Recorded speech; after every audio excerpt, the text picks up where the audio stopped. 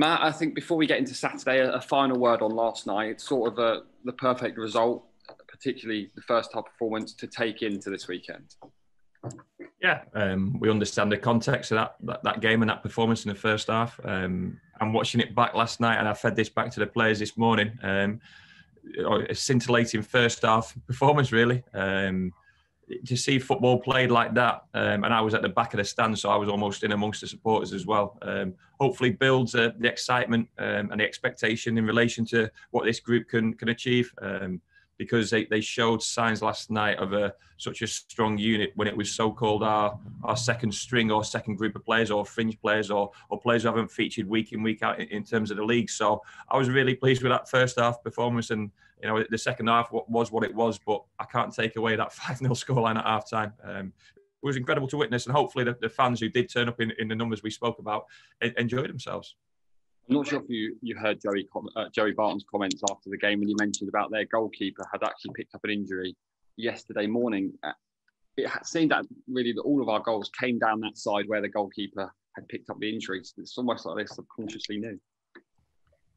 Well, we didn't know. Um, it's not for me to comment on other teams' injuries or, or performances. Really, um, I thought there's some good finishes in there, regardless of who was in next or fully fit goalkeeper. So that's almost irrelevant and a, side story to what can't take anything away from the, the, the scoreline, really. This is an opportunity now. Second uh, Saturday's our second of four home games in a row. It's a real opportunity to to string another mini run together it, in the run that we're already in. Yeah, exactly that. I mean, it's not a long time, but a two week break from the league feels like a, a long time. Um, and we've got to go and hit this weekend as hard as we possibly can. Um, almost sandwiched in between other cup competitions. Um, but we had a good run of form in the league going into the, the, the mini break, so to speak.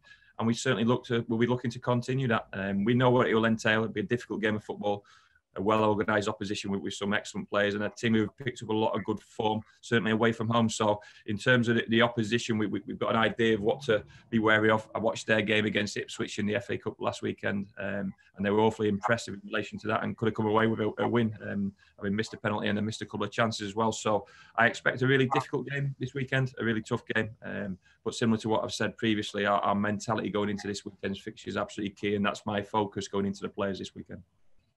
I think with Oldham Athletic, the league table doesn't tell the whole story. Like you mentioned, their away form, um, three clean sheets in a row in the league away from home. And of course, they've got the threats that we're all aware of, of uh, Dylan Bahamboula and Davis Keillor-Dunn.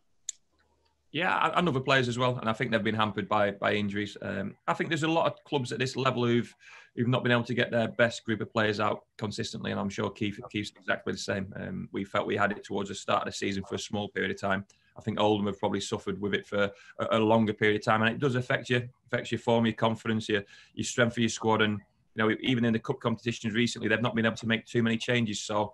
Um, but they've started moving in the right direction, um, so I'm sure they'll they'll start producing the, some some results to go on top of their, their performances as well. But we've got to make sure that we're trying to be at our best this weekend, um, and we will we, we, we're fully aware that if we play to our potential or we play to our best, then we'll give anyone a game on the day. Um, as always, we'll need a little bit of luck. We'll need to be resolute. We'll need to, to suffer at certain stages during the game, uh, no matter who we're playing.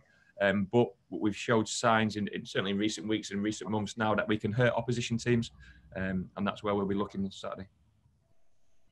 Obviously, you mentioned that Carl Taylor picked up a slight uh, niggle yesterday. How how is he this uh, was he this morning? It's a shame he saw he saw um, anyone who was at the game last night. So it was a, a hefty collision, um, and it sort of hindered him for the remainder of that first half period. And we, you know, the old old saying where you try and run it off after half time, and he couldn't quite do that. So um, it was a shame that he, his his his evening or his, his work last night was cut short. Um, and it's a race against time to be fit for this weekend. Um, he's, he's awfully sore today, so I'll be surprised if he's available, um, which is not ideal because obviously Tim Dieng's suspended as well, so a bit more pressure in the middle of the pitch, but another opportunity for another body, um, something we've spoke about Craig time and time again. Um, and with the amount of fixtures, no matter what the, the context of the, the game is, um, there's an awful lot of opportunities to come. Um, so whoever steps in at the weekend, I'm sure will be, be vying for that place. I'm trying to put in a performance.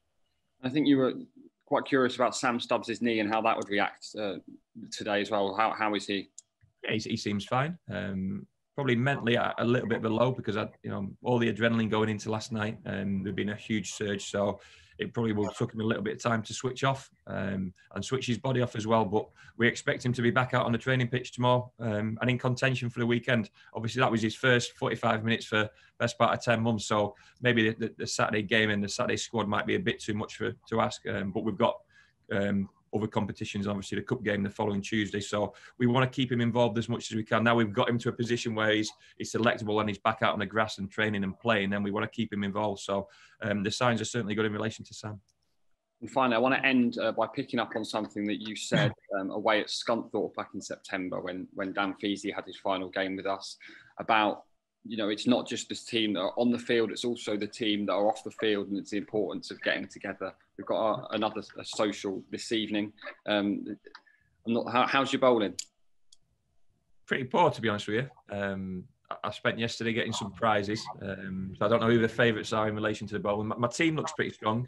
Um, I've got to be honest with you, so no pressure in terms of my teammates. So I'll need them to drag me through. Um, but we, we, we, we know what the club's gone through, um, and it's maybe gone through um, slightly hidden from public eye in terms of the difficulties um, in all departments, um, simply due to the pandemic and the, the stress it has caused individuals and units and teams, um, ourselves included in that. Um, so social events like this afternoon go a long way. Um, but I think it's only right that we touch on the, the, the feel of the club and the feel that we you know, we've got a chance of achieving something um, with this group of players and this group of supporters and this group of staff as well. Um, because, you know, a lot of people sat at home and, and watched the scores come through for 18 months um, and would have felt a long way away from Exeter City. And, you know, it's, it's a cliche, but the Exeter City family is so, so important. And, and staff and supporters and players are just all together in, in relation to that. And, and now they're seeing a, a product on the pitch, which hopefully they can believe in.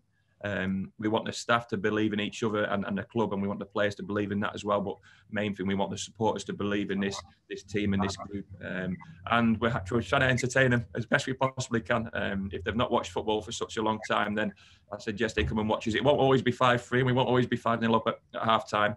Um, but we're certainly trying to entertain, and that's part of our remit to get get bums on seats. We know how important that is for our football club in relation to generating income. So we want as many people through the turnstiles as, as possible. But when they do come through, for it to feel like a family event, a, a social occasion, um, and for them to enjoy it and come back again. Um, and certainly we feel we're moving in the right direction in relation to that.